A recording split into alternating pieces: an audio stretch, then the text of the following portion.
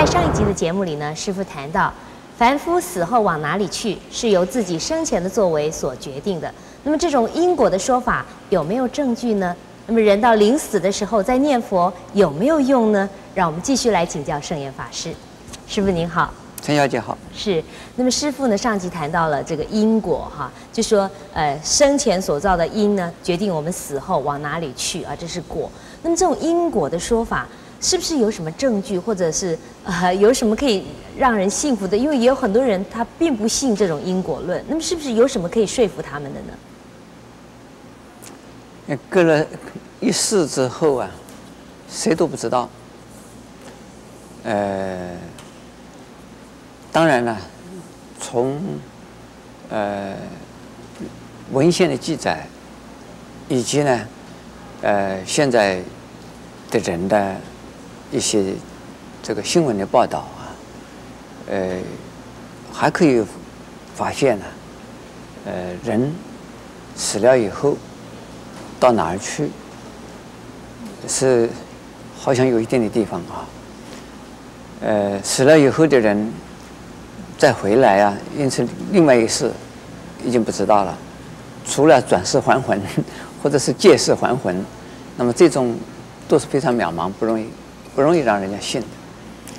呃，就是说，呃，非常的呃真啊逼真，那在科学上还是没办法采采信的啊。那我们只能够说呢，呃，佛法是讲的这个因果啊，是讲善事。那这一生，呃，一定是从前一生来。那么这一生，呃，过来以后，一定还有未来一生。呃，许多许多的人呢，讨论的生死问题的时候啊，呃，永远限制在现这个现在一个矛盾之中。嗯。呃，没办法突破，就说为什么？那同样的父母生的，为什么过了几十年之后呢？有的呀变成了皇帝，有的变成了乞丐，也可能都可能啊。嗯。为什么？这个环境相同，教育的环境、教育的这个啊投资都相同，为什么出来的人又不一样啊？那么这一些都没有办法说明，因此呢，都陷入一种争论的矛盾，而且愤愤不平。那因此呢，如果通过啊三世因果的这个观念呢或信仰。来讲的话，那很容易讲通了，因为现在这这一生是由过去带来的因，而这是结的结的果。那么因里边呢，也有啊，呃，这个同类的因，有异类的因。同类的因里边呢，也有啊，这个浅的，有的是呢厚的，呃深的，有的是薄的。那这样子的解释法呢，就可以能够说明。我们的人为什么，呃，在同一个环境里边生长的人就有不同的命运的遭遇？嗯，那这个就可以解释很清楚了。否则的话呢，呃，我们不相信因果，不相信三世因果的话，这个永远没有办法解释。因此，释迦牟尼佛给我们的一个啊呃指导，或者是呃给我们的这个说明啊，呃，就是让我们去相信有三世因果。如何的证明三世因果？那只有啊，说死了以后你自己去呃体验吧。那么死了以后体验也不能再来了，来的时候你又又又又把过去的又把过去又忘掉了，就是记得过去的是在我们现在这一生之中告诉人，人家也不相信。嗯。所以是啊，这不需要呃一定要拿出个证据来，呃，从理论上，从信仰上啊。能够呃讲得通，而且呃用信仰、用理论的这种观念呢，呃通过三世的这种过程呢来说明的话，我们大概就可以得到平衡点的。是，那么事实上佛法讨论这个生死的问题也很多哈，譬如说呃关于死了以后的各个阶段，好像也有很多的名词，师傅是不是可以给我们稍微解释一下？啊，那么死了以后人。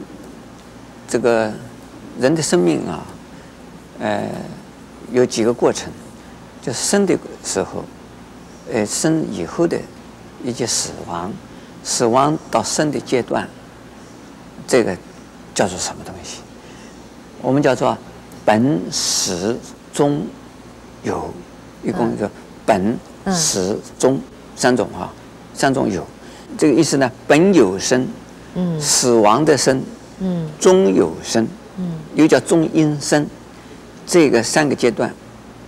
这个三个阶段呢，就是说我们在活着的时候，从生到死，这个阶段我们叫做本有。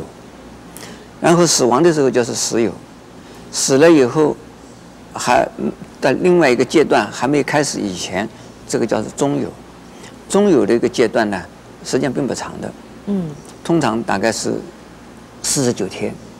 人死了以后，所以呃七个七，嗯也是我们中国人死了以后就是呃做头七啦、二七啊，那么这个都是佛教的信仰。佛教相信呢，这个在四十九天之内，呃，是中阴身。过了四十九天之后，他如果不做转生的话，就是变成鬼道，哦进入鬼道。否则的话，转生转生的可能是人道啊、天道啊、畜生道，或者是呢，有人超度了的话，就到了这个西方极乐世界，嗯或者到佛国净土去。那就是看这一个人呢，在生的时候的情形，以及加上他自己的心愿，临终时候的一个心相，呃呃和信念有关系。这临终这个自己不知道要到哪里去，茫茫然、慌慌张张，或者是呢舍不得、放不下，这个时候大概是先经过中阴身。经过中阴身的阶段的时候啊，呃，自己是在等着因缘成熟到哪去。在四十九天之中，呃，如果有人给他超度，有人给他说法，那他听到佛法以后，看他接受的程度如何，信仰信心的如何，他接受的马上接受，马上信仰，马上相信有佛国净土，他也求生愿生西方就佛国净土，他真的能够去。是啊、如果他没有相信，那就比较困难了。